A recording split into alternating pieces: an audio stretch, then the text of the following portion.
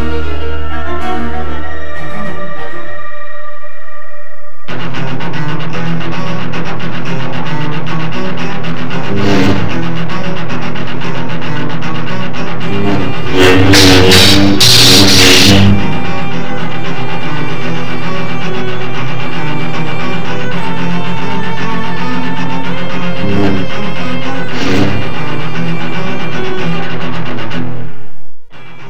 Zabiłeś mojego ojca z kupusem.